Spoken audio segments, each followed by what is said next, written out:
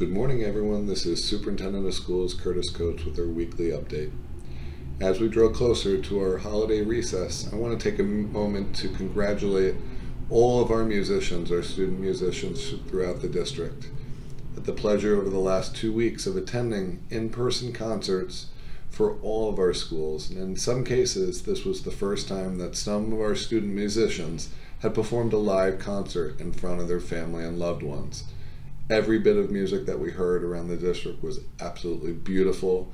It was just an affirmation of the hard work of our students and our teachers that happens on a regular basis. Congratulations and well done to everyone that was involved. I also want to take a moment to thank our middle school today. We were fortunate enough to have witness to a beautiful program called Wreaths Across America.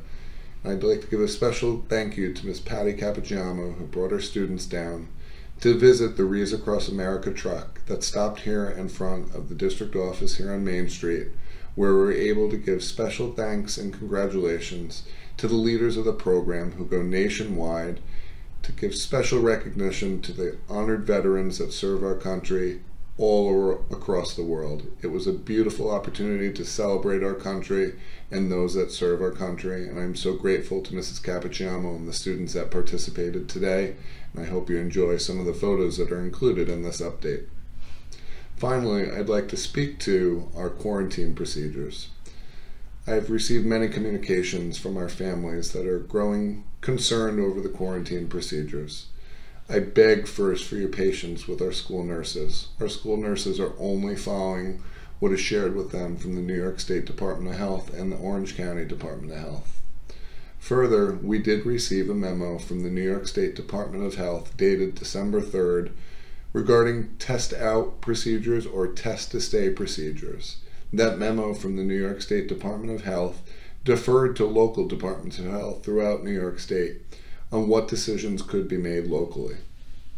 In communication with our Orange County Department of Health, the Orange County Department of Health is currently very focused on vaccination and vaccination rates as a mitigation strategy for reducing positive numbers of COVID cases in our county. We have a very positive relationship, if you will, pardon the pun, with our Department of Health, and we want to maintain that. And we'll maintain ongoing communication with the Department of Health over our concerns on quarantine procedures.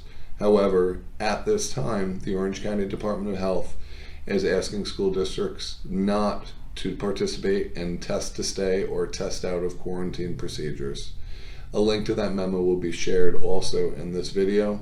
Again, we're committed to working in every way possible to make sure that we preserve in-person instruction while simultaneously being responsible and being conscious of student and staff health at the same time.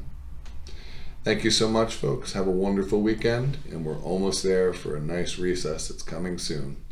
Have a great weekend.